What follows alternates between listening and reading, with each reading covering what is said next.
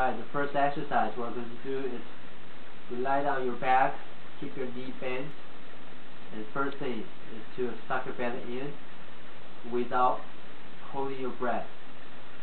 And put your hands on the pelvis. The purpose is to make sure the pelvis doesn't rotate when you raise up your leg. Alright?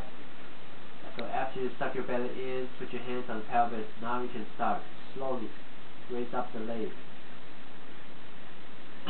you will see if you don't suck your belly in and try to stabilize the pelvis, it will go like this way.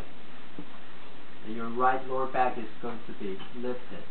So try to keep your back static. By moving the leg slowly.